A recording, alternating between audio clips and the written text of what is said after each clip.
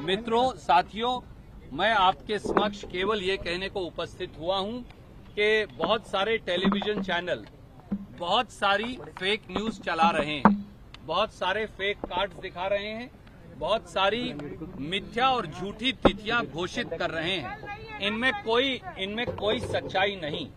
श्री श्री मलिक, आप आ जाइए, मेरी जगह आप बाइट दे दीजिए। आप पूरी कर लीजिए when will when will expect You have to have much sense of responsibility, यार। पूरी कर।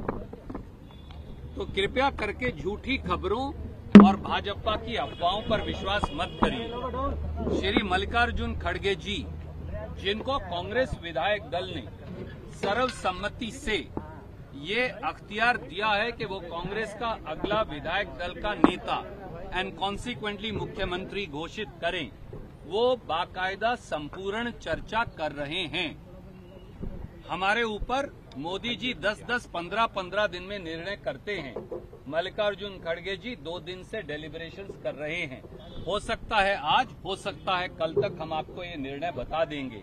इसलिए जल्दी मत करिए विचलित मत होइए अपने दर्शकों और पाठकों को झूठी खबरें मत दिखाइए।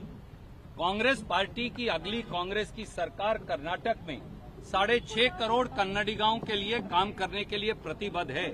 हम कांग्रेस की पाँच गारंटियाँ मंत्रिमंडल की पहली बैठक में, जैसा राहुल गांधी जी ने और जैसा खड़गे साहब ने कहा, उन्हें लागू करके दिखाएँगे। भारतीय जनता पार्टी अपनी करारी हार से बौखलाई हुई है, विचलित है और इसीलिए वो झूठा प्रोपगेंडा और प्रपंच टेलीविज़न के माध्यम से और उनका सोशल मीडिया अजीबो गरीब खबरें चलवा रहा है। उन पर विश्वास मत कीजिए।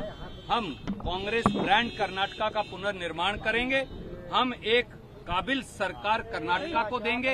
एक ट्रांसपेरेंट, अकाउंटेबल और ईमानदार सरकार कर्नाटक को देंगे। 40 परसेंट कमीशन का अंत करेंगे और ये सुनिश्चित करेंगे कि हम हर कन्नडिगा के लिए, साढ़े छह करोड़ कन्नडिगा हमारे भाई और बहन, हमारी इकलौती प्राथमिकता हैं। और हम उन सब के लिए काम करेंगे